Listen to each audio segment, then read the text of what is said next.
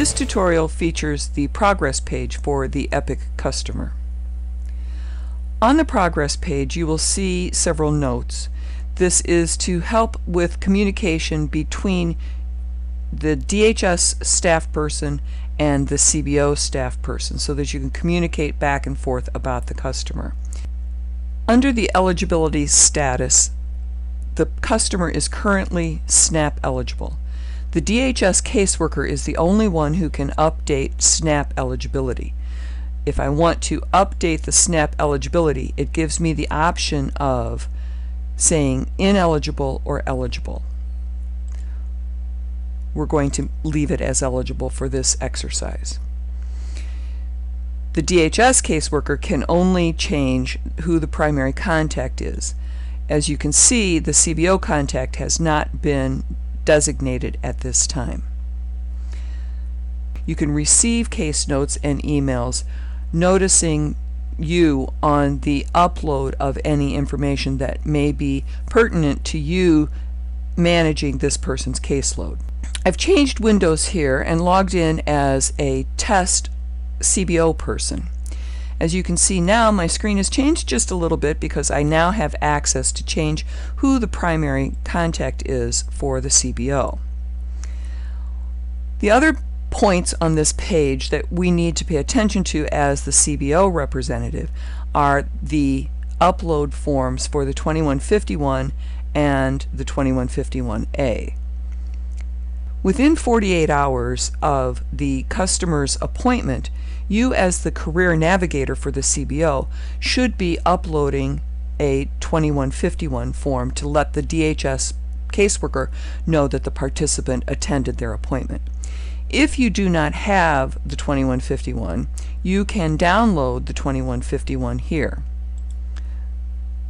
It will download to your computer or you can view the file. I'm going to open it with Adobe Acrobat. This is preferable because in Acrobat you can change the form and the system will recognize those changes. In the form you will see a number of items that are already filled in including the date, the time, when the person was referred to you, what their information is.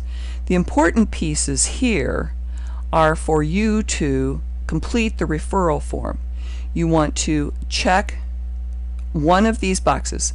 Client assessment completed, client service initiated, no contact from client, or referral rejected and explain why. I'm going to add the date today and I'm also going to add the expected date of service. No signature is required at this time, only if you require the information authorizing the person to give you their records from a different department in the Department of Human Services. When you are done completing the form, save it to your computer. I'm going to select a folder and I will save the file in my drive. Back in the customer's progress, I will select the box that says Upload Completed 2151 form, browse my computer, select the file, upload it. I can put any note in here that I want to. Then click the upload button. As you can see the form, date, and time is there, what it is, what the file name is, the note, and who uploaded it. I can also remove it at a later time if I notice that the form is incorrect for some reason. When you are done uploading the form, you want to mark the customer as either enrolled or exited. Because this is a new customer, it will be enrolled.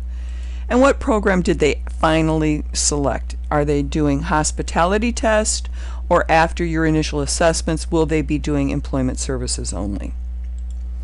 Update that. Then within 24 hours of that, you do need to be uploading an initial 2151A form to tell what the customer will be doing for the remainder of the month that you are in at 20 hours a week. And between the 1st and the 5th of each month, you will be uploading a 2151A form for the activities that happened in the month prior for that customer. The same process applies.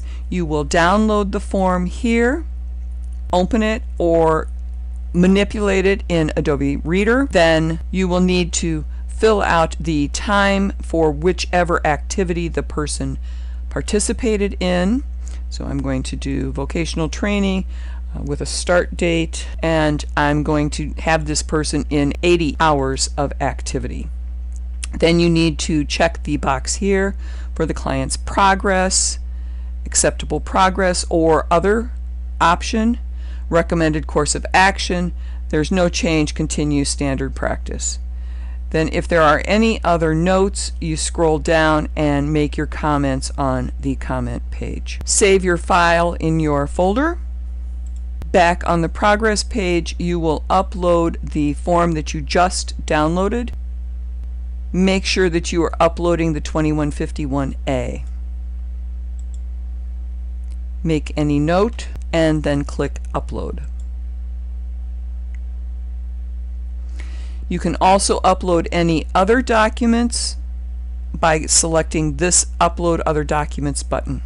This is a running representation of the documents regarding this particular customer. That's it for the progress page. Watch this and other tutorials on the EPIC Partner Resources page.